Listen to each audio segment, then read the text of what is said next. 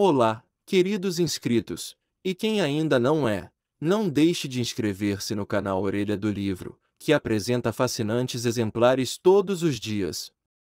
Temos sinopses de livros, as melhores séries de TV em livro e os melhores filmes e séries de TV.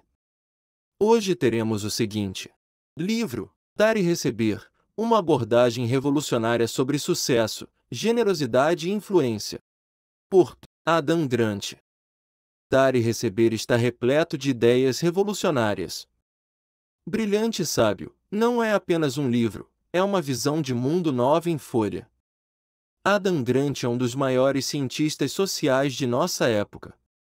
Susan Cain, autora de O Poder dos Quieto, em Dar e Receber, Adam Grant, pesquisador e professor da Wharton School, reúne suas conclusões sobre os motivos pelos quais algumas pessoas chegam ao topo da escala de sucesso, enquanto outras permanecem na mediocridade. Com base em seus estudos pioneiros, Grant revela que, ao contrário do que muitos pensam, as pessoas mais bem-sucedidas nas mais variadas carreiras não são as mais egoístas e implacáveis nem as que agem com base no toma lá da cá.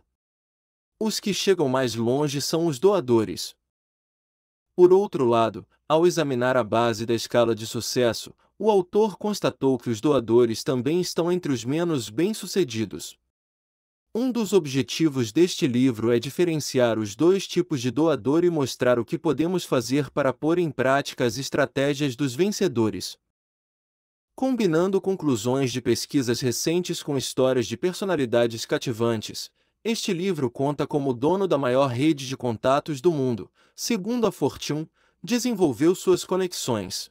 Porque o gênio criativo por trás de um dos programas de TV mais populares trabalhou durante anos no anonimato. Como identificar um tomador apenas analisando seu perfil no Facebook? E de que forma poderíamos ter previsto a falência da Enron quatro anos antes do colapso da empresa, e isso sem sequer estudar seus números?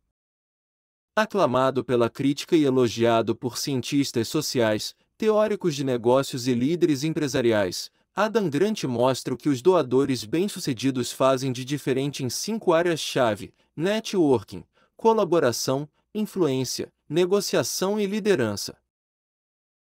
Deixe seu like, compartilhe, ative as notificações e boa leitura. Até a próxima!